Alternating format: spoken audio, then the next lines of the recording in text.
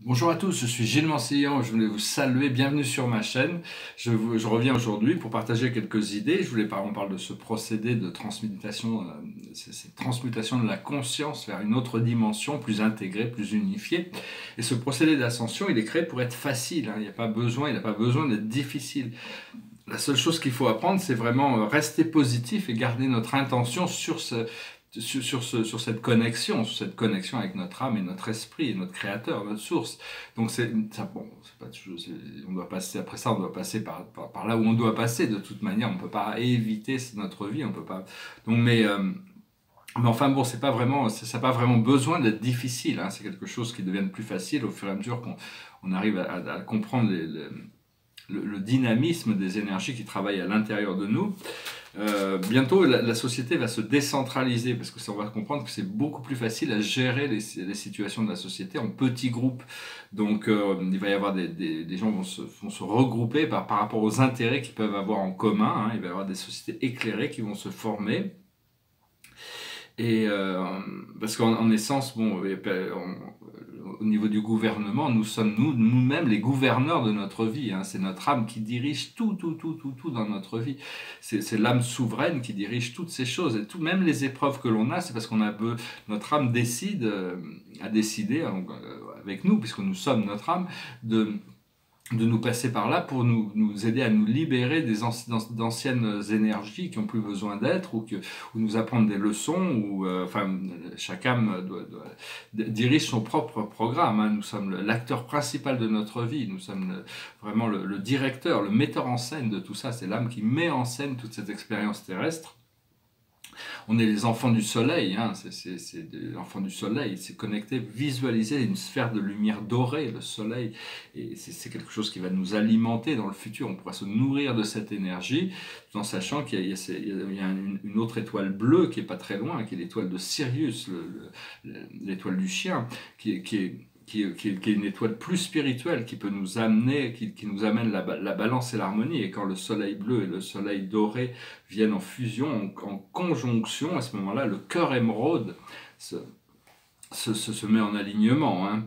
Euh, savoir que cette, fréquence du soleil doré, la lumière blanche dorée, la lumière, ça active le Christos à l'intérieur de tous les êtres. Le Christ est une fréquence, un pouvoir, une connaissance, une une, dimension d'existence qui existe à l'intérieur de tous les êtres. Donc c'est vraiment l'éveil du Christ collectif, c'est important. On a tous les êtres ont le Christ à l'intérieur d'eux, même peu importe s'ils sont religieux, s'ils sont pas religieux, c'est comme la présence de Dieu, même si même les athées ont la présence de Dieu en eux, sinon ils n'existeraient pas. Bon, il faut et savoir que l'amour, c'est toujours l'essence, c'est le corps de vraiment qui nous sommes peu importe, rien ne peut changer ça. Éternellement, cet amour éternel et divin ce sera notre, notre corps, notre centre. Hein.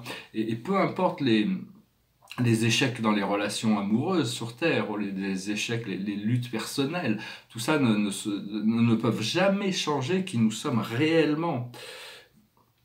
Et c'est donc euh, parce que bon, ça peut, on peut arriver, ça peut arriver qu'il y ait des temporaires, il y, a des, relations temporelles qui peuvent, qui peuvent nous faire souffrir, mais tout ça ne, ne sont que des expériences temporelles, temporaires. Et c'est le c'est le l'ego qui a besoin d'apprendre à pardonner parce que l'ego il a toujours besoin de dominer, il a besoin de contrôler et tout ça. Et donc c'est ça qui crée la plupart des, des souffrances. Hein. Tout le monde a des blessures qui viennent dans le cœur. Hein. Tout le monde, tous les êtres humains, on passe tous par là.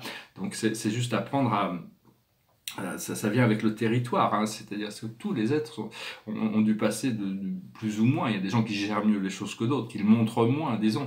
Mais euh, ce qu'il faut, c'est connecter avec le cœur supérieur, le cœur sacré, qui, qui, qui, est localisé physiquement dans le, une glande qui s'appelle le thymus, qui est aussi notre système immunitaire. Et, donc, c'est arriver à connecter avec cette sphère qui, est de l'amour inconditionnel, et donc arriver à connecter le cœur et le thymus, et arriver à le communiquer, hein, après amener cette lumière en haut et la faire descendre, l'ancrer dans la terre. Et donc, tout ça, c'est des choses qui viennent progressivement. Hein, euh, c'est pas facile de, de, de, de, voir ces progrès. Hein. D'ici, euh, des fois on a l'impression d'avancer, des fois on a l'impression de reculer, mais on fait tous des progrès. Hein. Faut, faut la, meilleure manière d'avancer plus vite, c'est de ne pas avoir de jugement sur nous-mêmes quand on a l'impression de regresser, de ne pas être sévère par rapport à nous-mêmes Et, euh, parce que sinon, ça nous force à rester dans une vibration inférieure, dans ces jugements.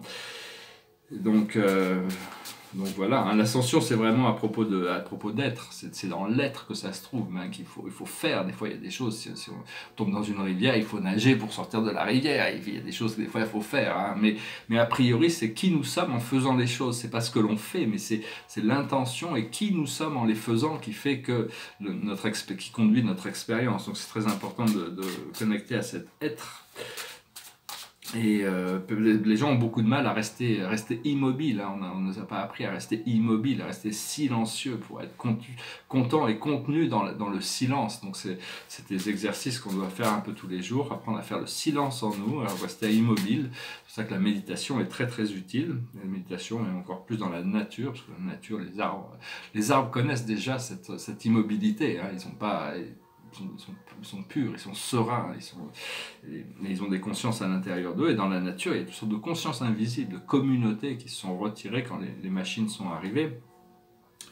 Et donc voilà, je venais juste vous saluer, je tirais quelques cartes, je célèbre mes 30 ans de peinture, vous savez plus de 30 ans que chemin, mais mes premiers tableaux sont arrivés en, en novembre, juste avant la chute du mur de Berlin, hein, quelques jours avant.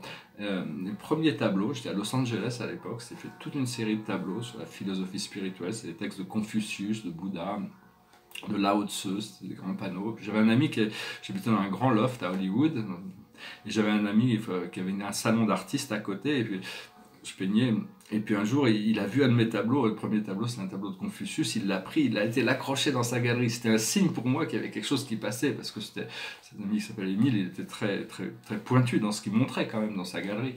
Et euh, c'était pas forcément le meilleur des tableaux, mais enfin, c'est parce que j'ai repeint dessus après, mais parce pour l'améliorer, mais, mais enfin, ça a initié toute une série. J'ai même des grandes, grandes toiles de cette période, 1989-90 donc je fête mes 30 ans de peinture. Euh, derrière moi, c'est des tableaux qui sont pas. Celui-là, c'est pas, il n'est pas fini. Hein. Je veux juste montrer, c'est un autoportrait, un autoportrait astrologique. Alors il est, c'est un peu, certainement rajouté. Et puis bon, tous les symboles vont changer de couleur, toutes les, formes, la, forme va changer, mais enfin la structure est déjà là. Hein. c'est un petit peu cette sorte de... J'en ai fait déjà plusieurs, mais j'avais toujours mis la Terre au centre. Là, j'ai mis une sorte de personnage hein, peut-être qu'il va me ressembler peut-être un peu plus avec le, au fur et à mesure que le tableau se développe. Et ici, c'est dans un intérieur, c'est une sorte de, chevalet avec une, toile qui, laisse ouverte, qui laisse un peu. Enfin, il y a toutes sortes de dimensions sur ce tableau. Puis il y a un petit bonhomme là, qui, qui apparaît sur le sol, une sorte de personnage angélique. C'est en 2019. Alors je vais tirer quelques cartes, on va voir passé, présent, futur.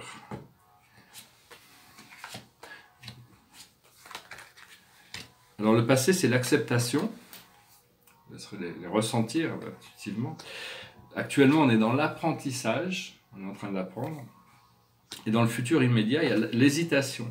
C'est-à-dire, euh, des fois, il y a des dichotomies. C'est-à-dire, une partie de nous va aller d'un côté, une autre partie de nous va aller de l'autre côté. Donc, il faut arriver à résoudre ces dichotomies pour embrasser, pour que toutes les parties de nous-mêmes puissent trouver satisfaction et épanouissement dans le flot. Alors, la meilleure manière d'approcher cette hésitation quand on ne sait pas, c'est rester humble, savoir qu'on ne sait pas. Comme Socrate disait, je sais que je ne sais pas, donc euh, c'est pas la peine de, prétendre savoir quand on ne sait pas, bien que des fois le sens de l'attitude par rapport aux situations est très important. Le sur lequel on travaille actuellement, c'est l'amitié. Et l'aboutissant de cette recherche, c'est l'amour. C'est arriver, on va trouver l'amour, l'amour physique, l'amour mental, l'amour émotionnel, l'amour spirituel, toutes les formes d'amour. L'amour, c'est de l'amour, hein, de toute manière. Mais il y a toujours des octaves d'amour supérieures, toujours à découvrir. Et donc voilà, hein, j'espère que vous trouverez cette, vous continuerez à travailler sur cette amitié. L'amitié et l'amour, c'est très essentiel, ça marche. Faut être ami, ami par rapport, être ami de soi-même, s'aimer soi-même, être ami. L'amicabilité, c'est quelque chose d'essentiel. On a, besoin d'être amical vis-à-vis du monde, on n'a pas besoin d'être ami intime avec tout le monde. Hein. C'est, aussi, euh, je, je, bientôt je vais avoir des nouveaux projets qui vont démarrer, mais bon, des fois il y a des choses, l'esprit nous révèle des choses, on a besoin d'être discret, il y a des choses qu'on a besoin d'ancrer, de partager, de communiquer, et d'autres choses qui sont que pour nous. Hein. Donc, il euh, faut savoir, pour arriver à différencier, mais bon, même si on fait des erreurs, c'est pas grave, mais bon, il y a des choses qui nous sont révélées à travers nos rêves, nos méditations, notre intuition, qui sont vraiment là que pour nous. Hein. Donc, euh, ces choses, moi je suis dans un métier, je vais retourner à mon premier métier qui était marchand d'art et galeriste. C'est un métier qui demande une extrême confidentialité et beaucoup de discrétion. Hein. Quand on vend des tableaux, c'est juste que bon. Euh, on les acheter en vente publique. À ce moment-là, tout le monde sait ce qui se passe puisque c'est en vente publique. Mais quand on fait des ventes de tableaux, ça doit être très très discret hein, pour pas, pas diffuser l'énergie. C'est juste que c'est des principes tableau doit être. J'avais un ami d'ailleurs qui s'appelle Pierre Recht, un écrivain. Il m'avait expliqué, on travaillait ensemble à Los Angeles sur des ventes de tableaux, il m'avait expliqué que quand on vend un tableau comme un Picasso, un Van Gogh, un Caravage, un collectionneur et on le vend à un autre collectionneur, c'est un petit peu comme comme, comme euh, si on essaye de marier une femme au Moyen-Orient. Si, si quelqu'un dit qu'elle n'est pas vierge, plus personne voudra la marier. C'est pareil un tableau. Quand on a un tableau à vendre, on doit le présenter au bon collectionneur. Parce que si tout le monde l'a vu avant, plus personne veut l'acheter, puisque c'est déjà tellement de gens qui l'ont refusé. Et donc, euh, donc c'est un métier assez subtil, mais un métier fabuleux on apprend toujours des choses dans ce métier, dans le monde de l'art, c'est quelque chose d'extraordinaire. J'allais chanter une chanson de David Bowie, mais elle est un peu dure, parce que beaucoup de chansons, il y a certaines chansons de Bowie qui ont été reprises, ce sont des chansons faciles, il y en a d'autres, ce sont des chansons dures à chanter, il, est chanté très bien, hein, mais... Donc j'ai chanté une chanson un peu plus facile, mais qui dit que l'amour est ce que l'on a besoin, c'est une chanson des Beatles, Love, love, love, love, love, love.